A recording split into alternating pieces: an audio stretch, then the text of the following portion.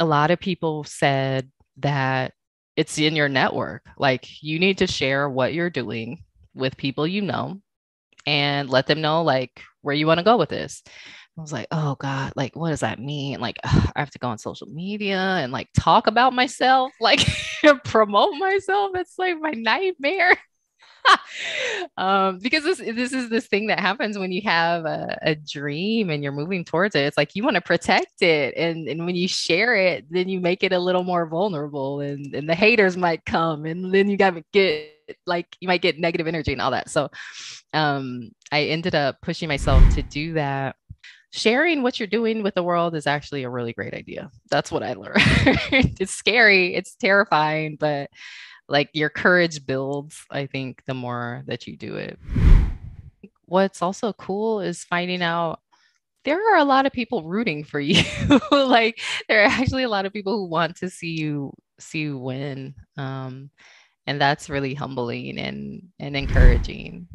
I have a journal of self advocacy wins that I started um, in the last, whatever, during the pandemic. So just anything from telling a colleague, yeah, I don't have capacity to do that right now, to like, you know, putting myself out there um, with clients or, you know, delivering certain content that was scary or having scary, uncomfortable conversations. Those all count as as self advocacy wins. So when I feel freaked out or anxious, I'm like, okay, wait, I've done this. I, have done this in some different forms. Like, okay, it can happen. Uh, I'm a very like playful person. I like smiling a lot. I, I like peace a lot. So just on an internal level, that was tough. Was- Welcome to this podcast where you're going to learn the strategies, the tactics, and also gain the confidence to speak your mind unapologetically at work and in your career so that you can get ahead faster, you can have more impact, be a better leader, and be respected as yourself authentically. And I'll be your host, Ivna Curi. I'm the CEO and founder of AssertiveWay.com, INSEAD MBA, and a Forbes contributor. Now let's get started.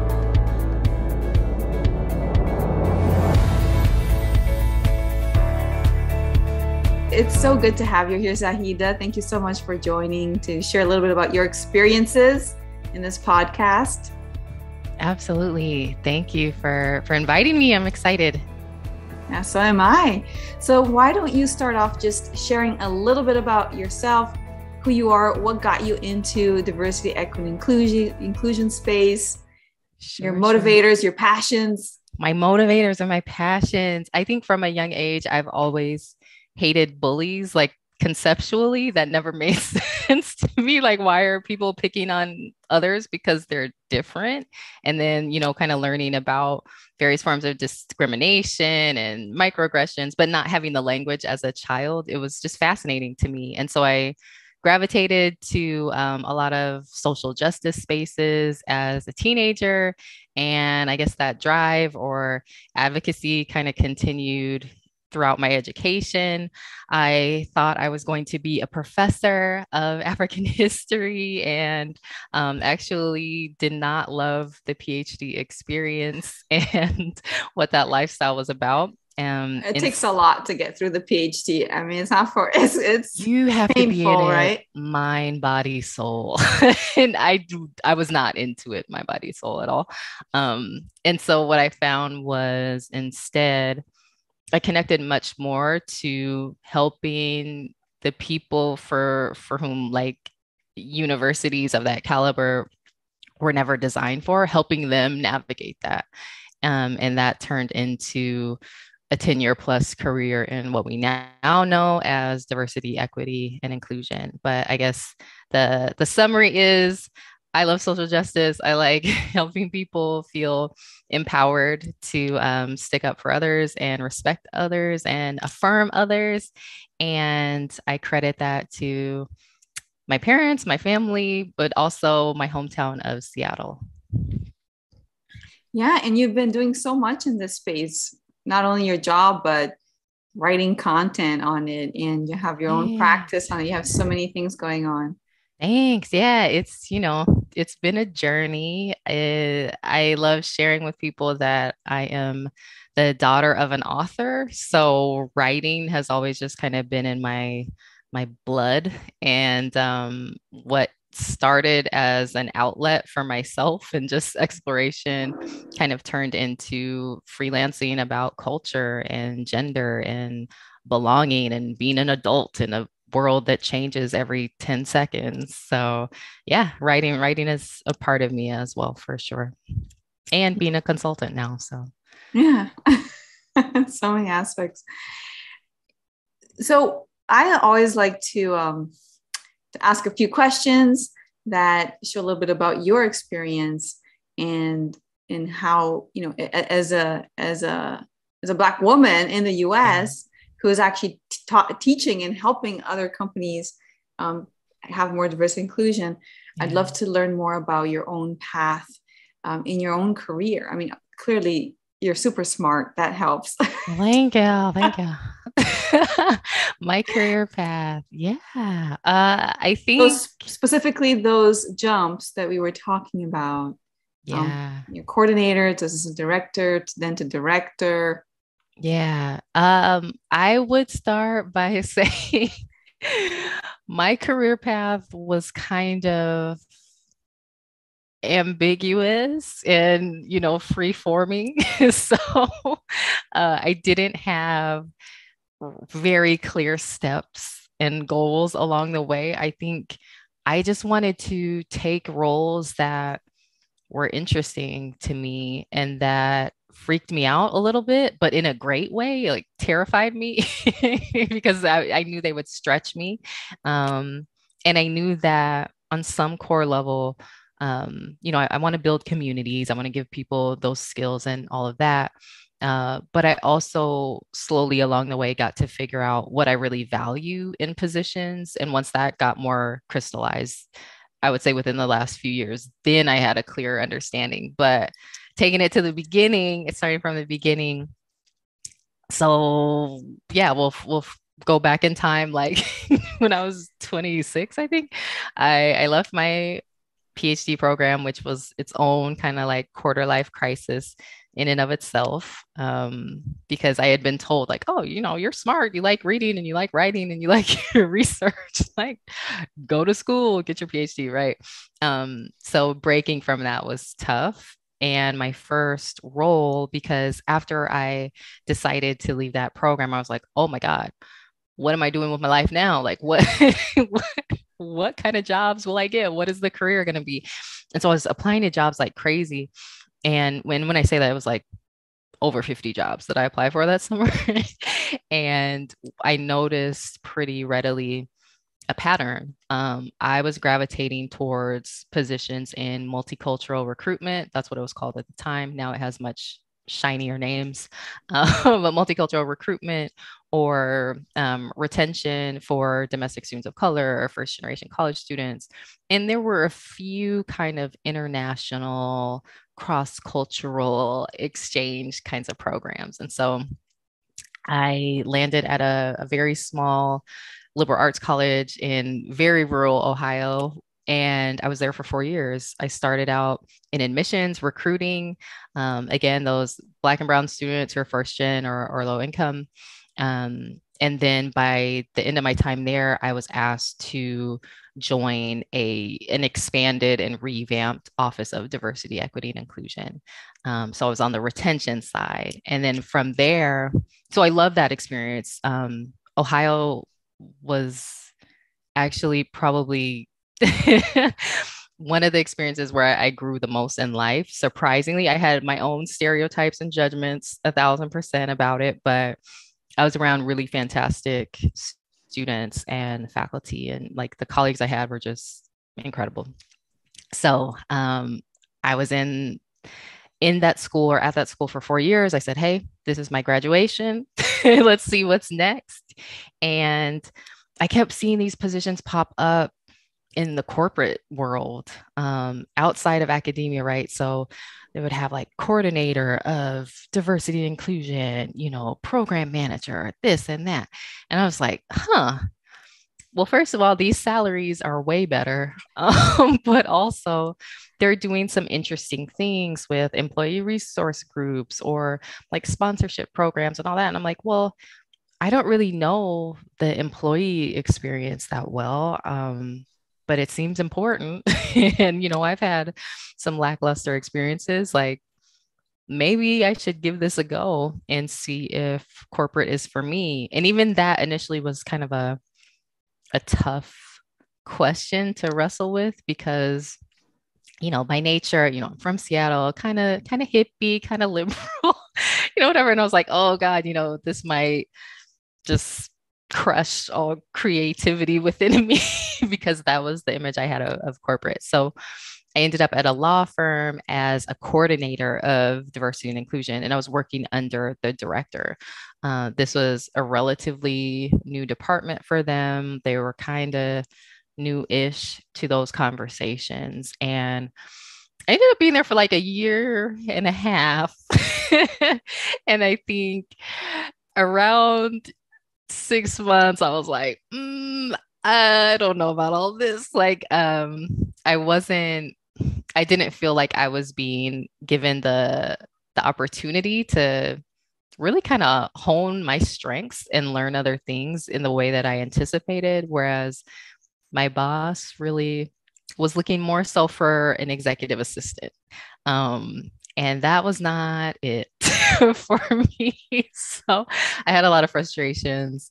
And um, the best thing from that experience that I could never take away was that it made me kind of get comfortable with data in ways that would not have happened um, had I stayed in those roles in higher education. So pivot tables were my best friend all the time, like creating these presentations um, for the C suite all the time and doing client surveys and all the requests for proposals and, and all of that. So it kind of gave me a new language to to utilize. Could you um, uh, share talk a little bit more about that? Um, because last time we talked, you mentioned that data, uh, the language of data, you yeah. thought was an important language yeah. for um, the African American community or in, in, in other groups. I don't know who else you recommend that for. Could you, you, elaborate a little bit more about that? I'm from, I come from the data world. Yeah. Oh, I'm super interested in what you're going to say.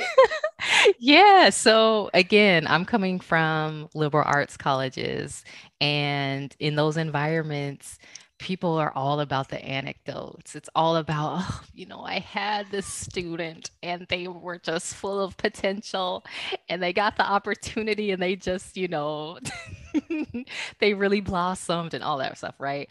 Or, you know, we launched this program and it didn't have the support that it needed. And so XYZ happened. Um, whereas I think working with people um, at a law firm, it was like, all right, what do the numbers say? And I don't want to, I don't want to mean it uh, in the sense that no one in higher ed or no one at liberal arts colleges cares about num- numbers. That's not true. Um, but I think the intensity of emphasis was just very different. Um, I think the data points were the entry to the conversation, whereas maybe in uh, liberal arts settings, it's it's more you know humanistic and more touchy feely, and and we want the feel good moments and all of that. Um, and so when I talk to different people, whether they're their colleagues, whether they're students, whether they're clients, and they are black or brown or they are underrepresented um, or have been historically excluded because of their gender identity or their economic status et cetera it's like okay you have your goals you want to advocate for yourself and a lot of us culturally come from backgrounds where the story is kind of everything. Uh, right? Like even kind of how we tell stories it can be cyclical and there's dips and there's rises and and all of that and that's cool and we need to keep that because that's valuable. Um, and we do need to hone another skill which i am very clear and I, I know you and i had this conversation. It is like a tool of I don't I don't know institutional oppression in a way. I don't know if we're going to get that deep, but um, institutional data is the language of these companies or of these schools, and so you know we're trying to have as many tools in our, our toolbox or a toolkit as possible to make the changes that we can for ourselves um, and for others along the way. And I think it wouldn't be fair to pretend like it's a good idea to ignore data because it's not. To me, to me, others can disagree. Yeah, no, I think that's interesting. I'm, I mean, my background is all engineers. My mom's an engineer, my dad's an engineer, my brother's an engineer. I'm an engineer. So we kind of grew up in that data world. I, yeah. I'm, I'm, not as much of a creative. Uh, and, um, but I, I, find it interesting you say that. Um, I thought it was very interesting for our conversation.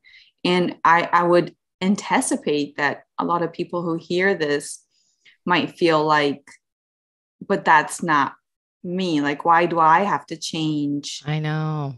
exactly. So, that's so fair. what's what's your what would you what do you what would you say to those people? Like, what what's your perspective on that? Yeah. Um yeah, it shouldn't be a rule, right? It's not. It's not fair. If it were up to me, I, I wouldn't have a whole lot of data going on, but I think there's ways to kind of strategically use it to enhance whatever goal you're pursuing. So I'm not saying like, okay, now everybody go spend 30 minutes a day practicing, you know, your what are the lookups? The V, v lookups and H lookups. Yeah, like I'm. Let's not do that. But think about um, different different data points that could support your cause. Um, you don't have to go into the deep end of research, uh, but I think on a general level, and and I don't think there's biases to this, but I think on a general level, a superior or your your boss, your supervisor, whoever you are are wishing to make these changes with uh, and who has a little bit more power than you they appreciate when their job is made easier. So if you're able to paint a picture of why you deserve that raise um, by showing you know i mean it could be just simple things as many as many people as you've served demographic like the number and right? Like and where that population is going in the future or something. Um, if you're able to just paint that picture and keep it actually kind of simple for them and see make it easy for them to see like oh this is a great idea. I need to take some action on this then the better that you'll be. So yeah is it a little bit extra work? Yes and can it help you reach your goals too? Also, yes. That's like the answer nobody wants to hear, but that's that's my answer. Well, you know, this this is a place where we share ideas that sometimes people don't want to hear, but they yeah. get to choose. If these are ideas, and again, everybody has free will to choose what works for them, but at least uh, the ideas out there. I thought was it was fairly, fairly interesting, yeah. and I want to get into microaggressions. I don't know if you've ever experienced anything like that, uh, and if you'd be willing to share what you experienced and what you learned from the situation, and maybe what you did, what you think you did well, what you think you could have done differently. Yeah, this this was an interesting kind of reflection because I think there's probably a lot of things that I've experienced, but just kind of blacked out. Uh, or like or like blocked out of my memory and i also think it's it's a bit complicated because as i've progressed in my career like going from you know when i stepped out of academia like going from a coordinator to an assistant director to a director like of a department and then a director of um, dei for a whole school it's it's an interesting position because like you're the diversity person. You're like the expert so no people are a little more on their p's and q's around me now. So i haven't experienced as as many um blatantly. But the one that came to mind after uh, thinking this over for a few few minutes was early in my career. So this was my my first job. Um and it was a kind of split position which was really wordy. I was an assistant director of admissions um, slash director of multicultural recruitment. So it's like I kind of had um, some director directorial power with the um, the recruitment aspects, but in the scheme of that Office of Admissions, I was a newbie, I was a rookie, and so I was out with white colleagues for drinks and dinner one day after work, and we were talking about some of our prospective students, and an older white female colleague started talking about a black male prospective student and she's going into you know oh you know he's such a great student and his story is just so compelling because you know he's like a lot of young black men and he doesn't have a father and this and that. And somebody was like uh yeah he does like he totally has a dad because he talked about it in his essay or whatever the case was and it was this weird like moment where like you couldn't quite hear a pin drop, but it was very awkward. And again, like this was my first real job and I'm I was kind of young and really not super confident yet. Um, and so I wasn't sure how to how to speak up on that. Um, and so I was talking to a close friend at the time about what to do and like really, really struggling. And I ended up reaching out to two of the white female colleagues, two other white female colleagues who were present because I was I was slowly hearing more about like, you know, bystander intervention and how to like enlist others to help you and support you and all of that. So I emailed them just kind of my observations but also how that that experience made me feel. And I didn't want to be perceived as the angry black woman um, or being aggressive and calling out this woman. And and so I was like so I'm really just asking you as kind of allies can you help with this and both responded and both responded no that they would not help with that. And, they, and they were like you know we think it just needs to come from you and it would just be better received and and you know you need to share your true story and all of that. And at the time i was like no i don't want to do this because one in my role like i feel like i'm calling these things out all the time anyways and this was my spare time like this was my personal life um I don't enjoy doing those things in my personal life actually at all. Uh, and so it was just super disappointing. So that is the story that came to mind first, which was like I tried to ask my white peers to help and they didn't. Um, and it was it was frustrating. So I think now that I've had more professional experience, but also just life experience in boosting up my confidence, I think I would have handled it differently in the sense that I would have approached that person privately another time to have that conversation um, and let them know how it made me feel and you know what my hope is moving forward. Um, and that's all i got on that and how would you because uh, feelings are something that a lot of people most people uh, find it very hard to describe their feelings. They find it very hard to identify feelings. So generally, yeah. there's like everybody has like a repertoire of like five feelings: happy, sad, angry, mad, bored, yeah. mad. That's it. Yeah. Uh, what feeling? I'm curious to know what feeling were you experiencing then? I think in that moment, oh gosh, you're really like making me go back there. you you can use one of the five words. No, no. I think in that moment I was um I was a combination of feelings. I think I was stunned, honestly, like on a on a physiological level. It just felt like, wait, what? Like I think I was confused. I think I was disappointed. I also think there was some sort of like embarrassment in the sense of like wait, this is what you think of black people? Like, none of us have dads. Like, it was so easy for you to go there. Like, what? And so, like, a part of that maybe maybe embarrassment or maybe shame was also maybe disgust as well um like insulting somehow? insulting for sure for sure that that is a much better word Ivna. thank you i think i felt it definitely was insulting as well so yeah insulting. It, was, it was wild and even though it wasn't directed at you it's because it's it was like indirect do you know what yeah. i mean so like you're talking about this group, this community, this race that I belong to. And you're not talking about me specifically, but I'm here. and like it's in a it's in a it's it's in this casual kind of slight of a way to put us down. And I know that's not what she meant, but it was weird. it was it was insulting and it it felt like a put down.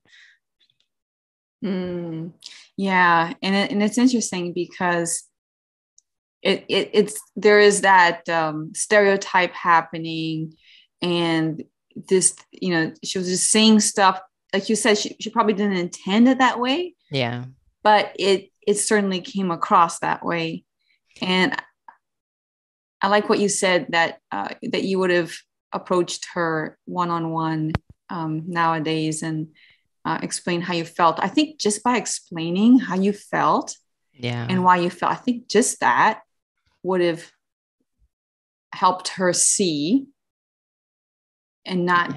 do that again. I would like to think so. I would like to think so. Yeah, I think like anytime anyone makes a misstep, I've just learned professionally taking to taking them to the side like having a conversation that's private is a much more constructive approach um, and also just letting them know like where you're coming from. I think had i had the opportunity to do that over i would have liked to express like hey we have a good working relationship you know I've enjoyed getting to know you. We're trying to uh, approach these goals together here in the office, and I need to let you know how those comments made me feel. Um, I'm not, it's not like a, because, okay, I do want to make this point quickly, if it's okay. I do think with white people in particular, there's a, a really embedded knee jerk uh, defensiveness that can happen when you do point out their missteps.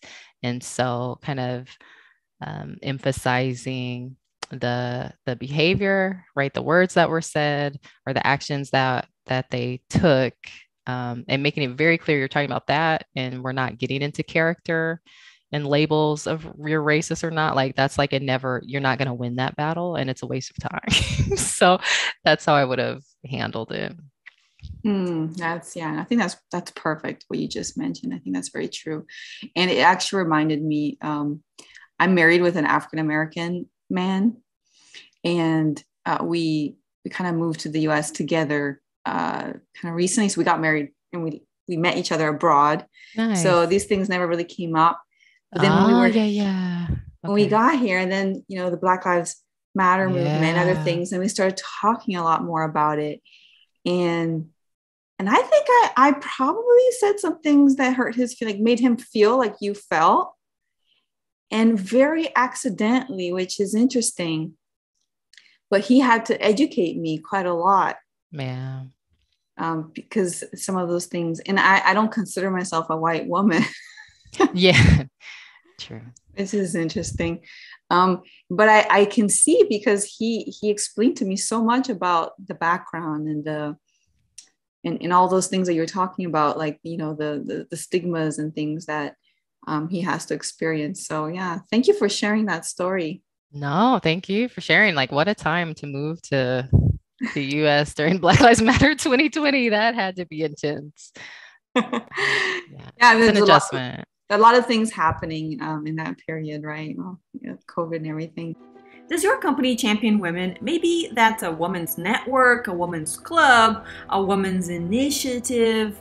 Well, my friend, if it does, I'd absolutely love to be able to add value to that cause, be it with a talk, uh, an interactive activity, or even a workshop.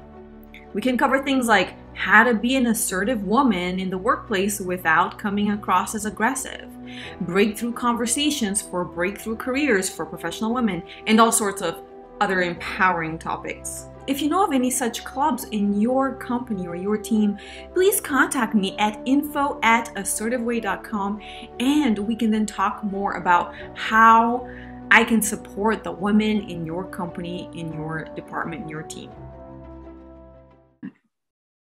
what was a very courageous moment that you had? Like, and what motivated that courage? And I say courage, which, and by courage, I mean normal you would not do it. Didn't you didn't instinctively feel like doing whatever you did, yeah, but you did it anyways because of something else, some other motivation. Yeah. I think the biggest courageous moment. I love these. Like you have the best questions. um, it was a really cool experience just reflecting on this.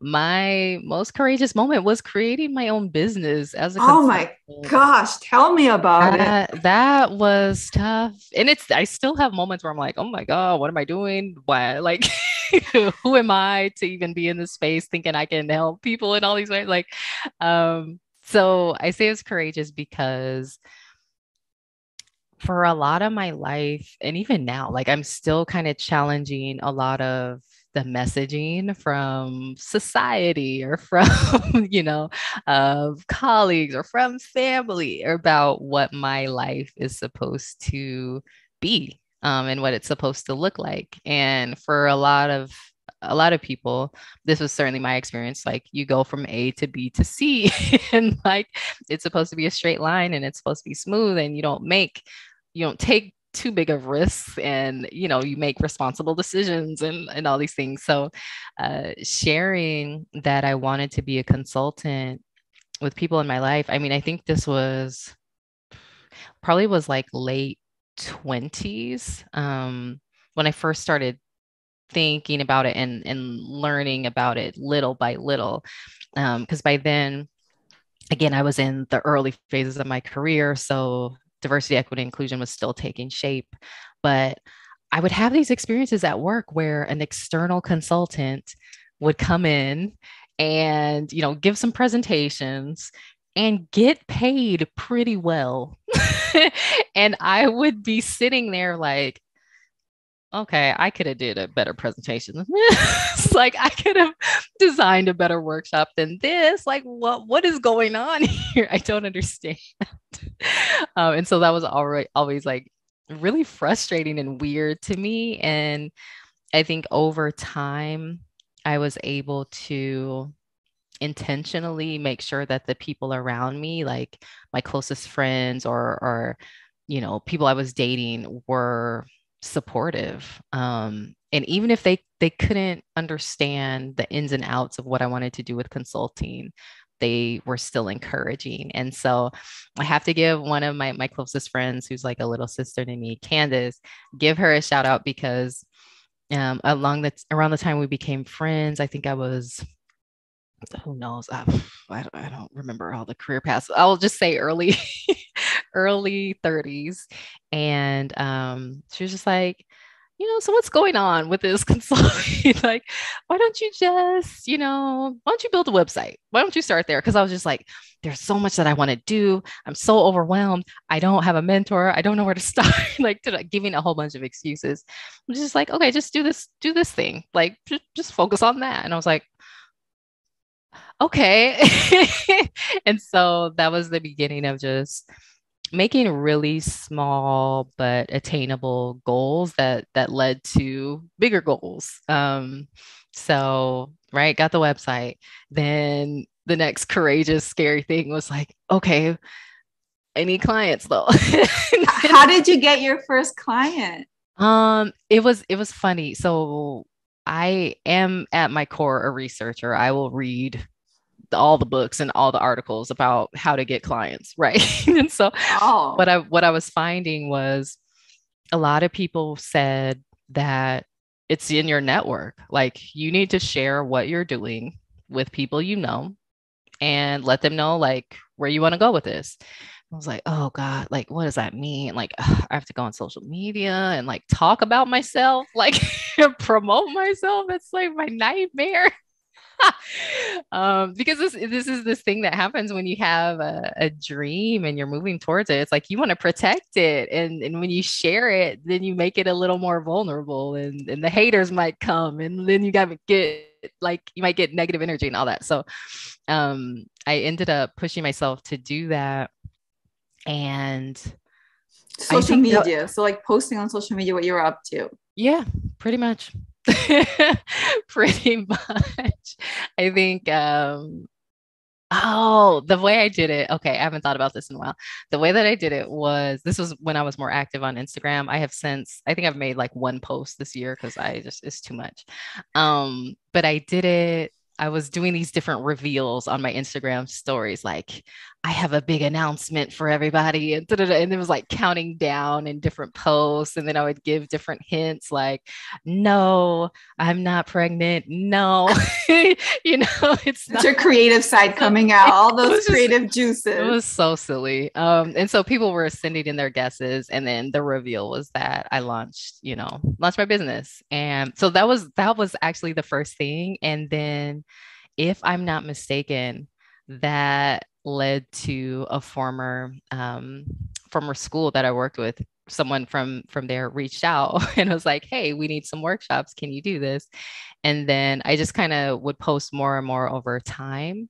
Um, and then former colleagues from other places would reach out, and then they would introduce me to potential clients, and then boom, boom, boom. So sharing what you're doing with the world is actually a really great idea. That's what I learned.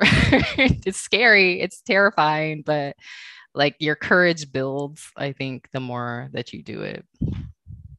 I totally relate. I for me it was so hard because I the same. I mean, it was hard to make that for that decision and then later to start posting and letting people know because I thought they're gonna think I'm the silliest person ever to try to do this and, and I thought, and I had to tell myself, listen, Ivna, the right people, even if only 0.01% yeah. of the people relate to what you're posting, that's okay. That other 99.99% don't matter. Yeah. No, that's real. And I think what's also cool is finding out there are a lot of people rooting for you. like there are actually a lot of people who want to see you see you win. Um, and that's really humbling and and encouraging. Yeah, it is. Yeah, I love that courageous moment. Well, various courageous moments to make that happen. yeah. Yeah. Any last thoughts for the audience today? It's, a process be kind to yourself in in the process of whatever your journey is it's really easy for us to get overwhelmed by everything that there is to do just remember like you're probably doing this for the first time and it's okay like you can you can figure it out you have what you need just keep taking taking the steps that you can um, it's a rewarding journey and all of that courage, like I said, it, it builds over time. I'm still building mine in 10,000 ways. Um, but you'll you'll come across a lot of great people along the way, like Ivna. So just keep going. Thank you. Wow, 10,000 ways to build your courage. That's commitment. no, we didn't even get into this. I have um I have a journal of self-advocacy wins that I started um in the last whatever during the pandemic. So just anything from telling a colleague, yeah, I don't have capacity to do that right now, to like, you know, putting myself out there um, with clients or, you know, delivering certain content that was scary or having scary, uncomfortable conversations, those all count as as self-advocacy wins. So when I feel freaked out or anxious, I'm like, okay, wait, I've done this. I, have done this in some different forms. Like, okay, it can happen. That is literally the best way to end this interview. With this idea of the self advocacy journal. People, get yourself a self advocacy journal. Yeah. I am all for that. Not, it it builds your courage. It builds your self-confidence. It lowers your you said it lowers your um, overwhelm. Yeah it, it reminds you what you what that you've done it before that you can handle it. I love that. And it's so easy to forget. So i like visual reminders just to keep going. And you see it every day. Put it somewhere where you know you can't miss it yeah on your desk like on the side where exactly. you put your coffee your coffee mug exactly. All right. Well, thank you so much for sharing so many wonderful experiences today. Yeah, of course. This was my pleasure. I'm so delighted that Zahida joined us to talk about some of these real issues around microaggressions and to give very specific examples as well. That was a gift to all of us.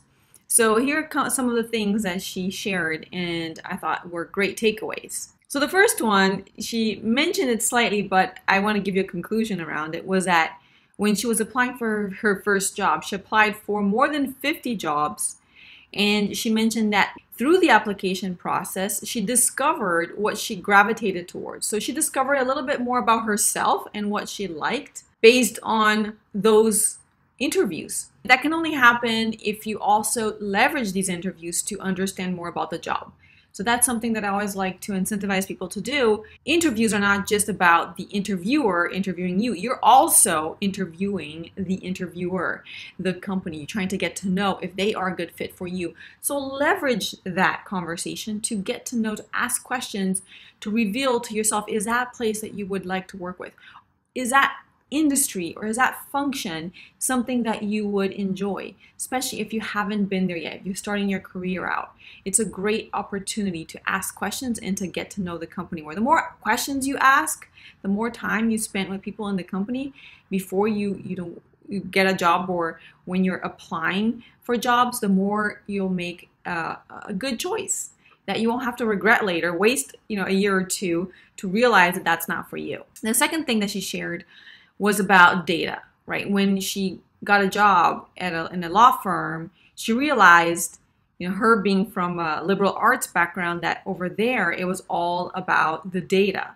It was all about the numbers. All the conversations happen around numbers. And that's not her past, right? Her past is more what she studied was around stories and anecdotes.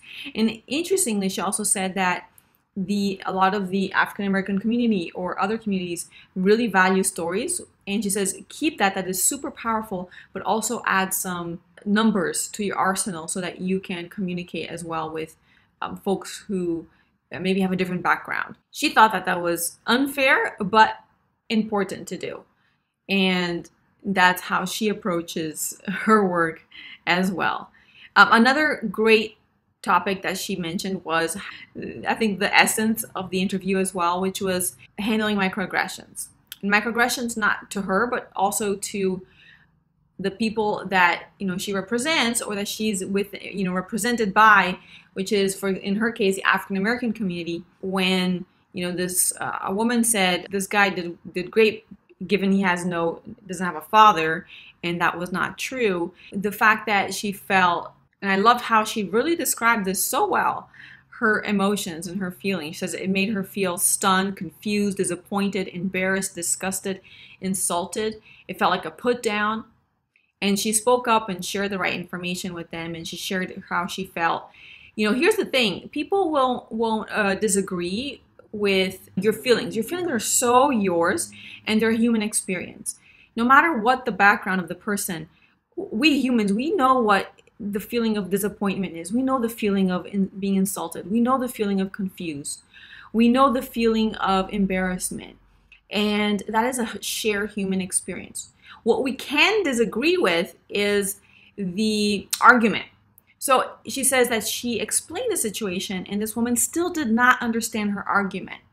She, you know, sometimes there are cultural differences. The fact is, she wasn't able to understand the argument or to accept the argument, but she can relate to the emotion.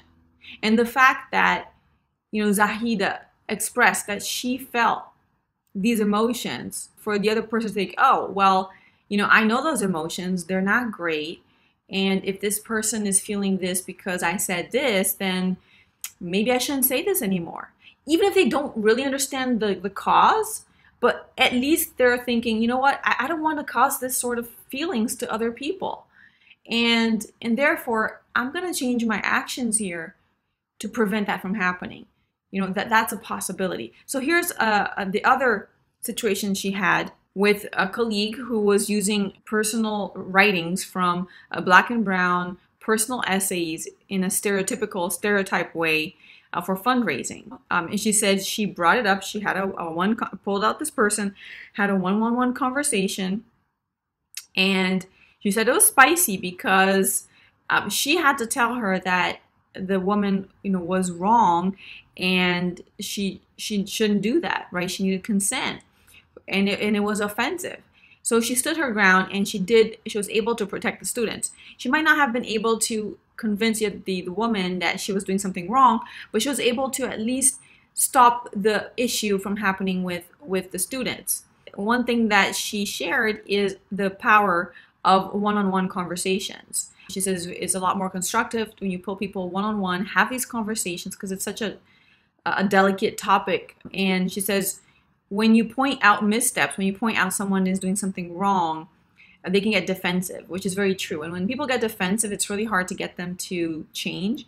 And so even if you're right, the problem is if the other person gets defensive, is your chances of influence go by go down, you know, down the drain. And that's unfortunately not going to serve you um, and whoever you're defending. So she said, make it clear it's about, you know, the situation.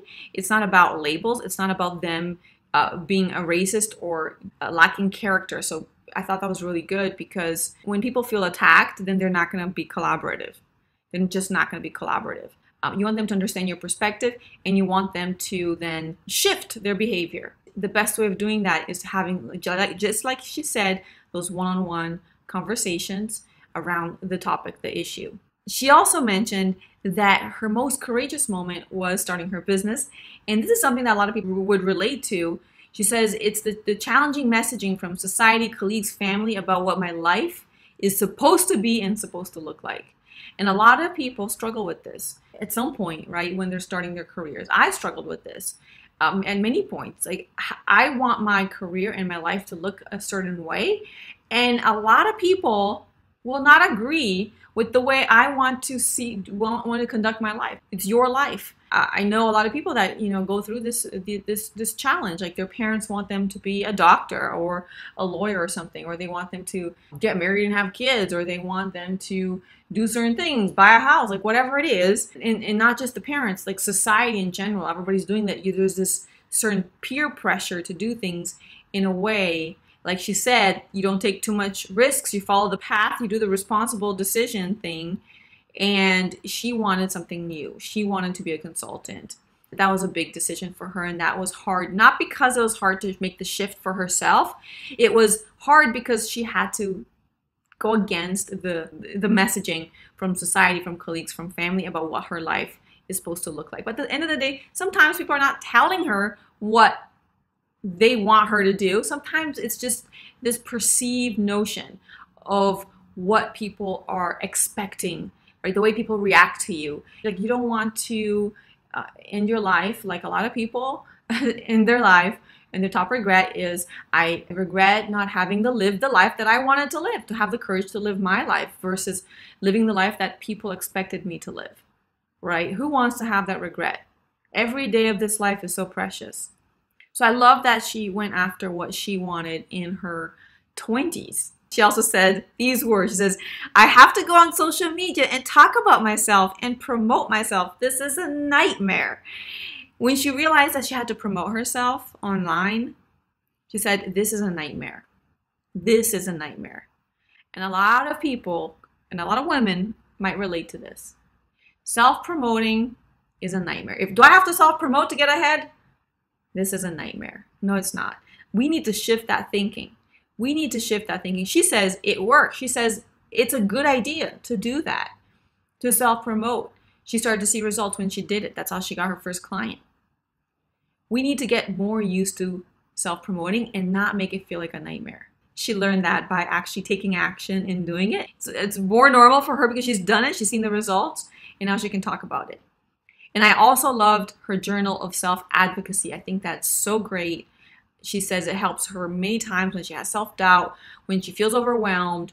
She just goes back to her self, her journal of self advocacy wins, times when she spoke up, times when she did things, she was decisive, when she took action, when she uh, advocated and stood up for herself. That makes her feel powerful and courageous. And I think that's a beautiful, beautiful practice that we should all start doing. So, guys, I encourage you to start your self advocacy wins journal as well. That was a fantastic, brilliant idea. All right, my friends, thank you so much for listening to this episode. Feel free to check out some of the other interviews that we've had. I'll link some of them below, some great interviews. And again, if you have a resource group in your company for women and you feel like a training on self advocacy, on speaking up skills, on having these hard conversations would be valuable to them, be it a, a, workshop or a talk or anything else, let them know about our podcast in assertive way or get in touch with me at LinkedIn.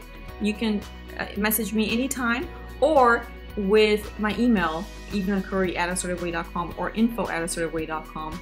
Let's work together to bring a training or a workshop or a talk to your resource group in your company.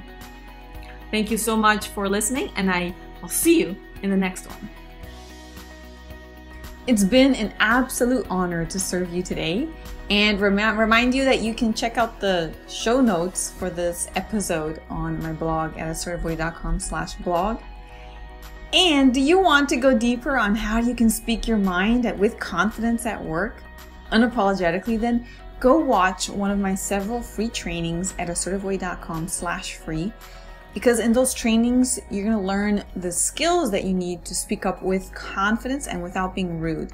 Like how to say no how to express your ideas in meetings how to express how you feel how to ask for what you want ask for that promotion that's due deal with difficult people difficult conversations handle criticism give thoughtful, constructive criticism to your team members or others, to self promote without bragging, and much, much more. So, these are the kind of skills that your parents, your teachers, your bosses may not have taught you, but that are going to make all the difference in the world in your career, in your relationships, and in your happiness. Trust me. So, thank you once more, and go ahead and enjoy the day. Have a delightful, wonderful week.